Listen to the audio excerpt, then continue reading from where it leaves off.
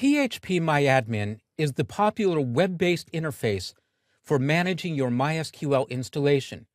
It's open source and completely free, and you can download it from this website at phpmyadmin.net. If you're using one of the popular bundles for Apache MySQL and PHP, you probably already have this installed. But if you're using the individual components and want to use this, you have to install it yourself. First, choose the version you want. I'm going to be demonstrating the latest stable release, version 4.2. But as of this moment, there's also a beta available for 4.3. I've already downloaded the installation package to my desktop. phpMyAdmin is cross-platform. It's written in pure PHP, so you use the same version regardless of which operating system you're working on. To install phpMyAdmin, you'll need to know your Apache server's document root folder. On my computer, I installed Apache under C colon backslash Apache, and the default document root folder is htdocs. So this is where I'll be installing. I'll double click my zip file, and I'll find that there's a top level folder. Underneath that folder are all of the files that make up phpMyAdmin. I'll go back to the top level, and then I'll drag this folder and drop it into my document root. If you're working on Mac or Linux, you'll probably need to extract the file first and then drag and drop the folder over.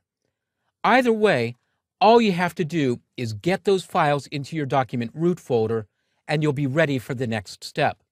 Once the files are placed, rename the folder to make it easy to access through the browser.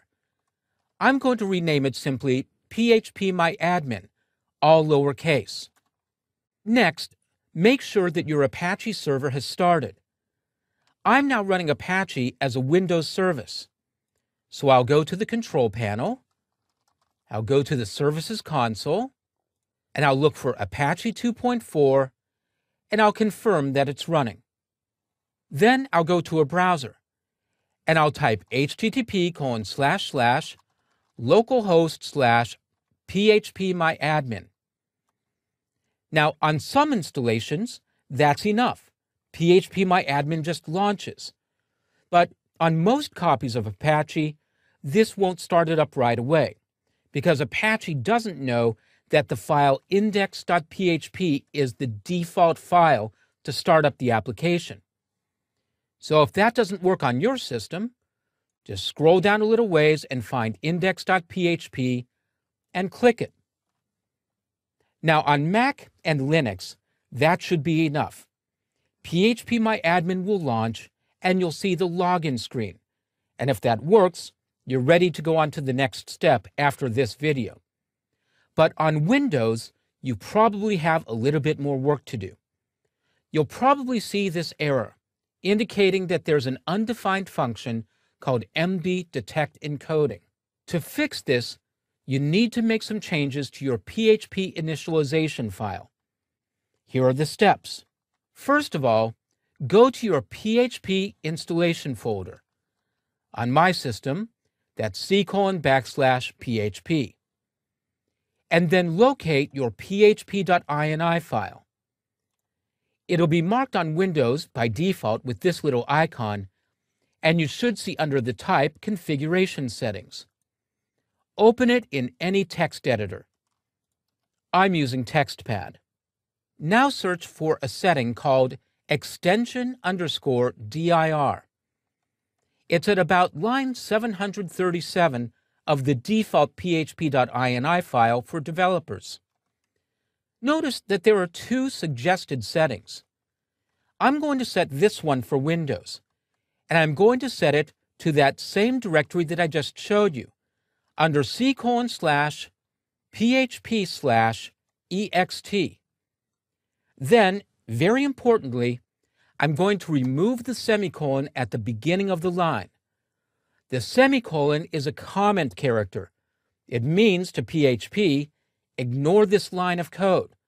By removing it, we're activating this setting. Now let's take a look at what's in that directory. I'll go to c colon backslash php backslash ext. And I'll find a whole bunch of DLL files on Windows. Now, again, if you're working on Mac and Linux, this works differently, and you don't need to be going through these steps. But on Windows, the extensions are delivered as DLLs, and you have to activate or deactivate as you need for the features you want to use. So now let's take a look at how to activate certain extensions that we need. I'll go back to the INI file, and I'll search for a string GD2. Here's the first extension, php underscore gd2.dll. And I'll remove the semicolon at the beginning of that line. That activates that extension. Now I'll go down a few more lines and I'll find one named mbstring.dll. And I'll activate that. And I have two more. I'll activate the next line for EXIF. And then two lines further down, I'll activate MySQLi. That's the MySQL driver that PHP phpMyAdmin depends on and that you'll probably need for your own development work as well.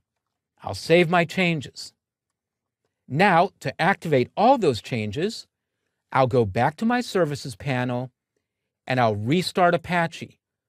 I'll just click the Restart button. If you're working with Apache from the command line, go to your command line interface and press Control C to stop Apache, and then run HTTPD again to restart it. Now I'll go to the browser and I'll refresh. And there's phpMyAdmin. On my system, I've already remembered my username and password. I'll just type my password again to be sure, and then I'll click Go, and there's my activated PHP phpMyAdmin installation.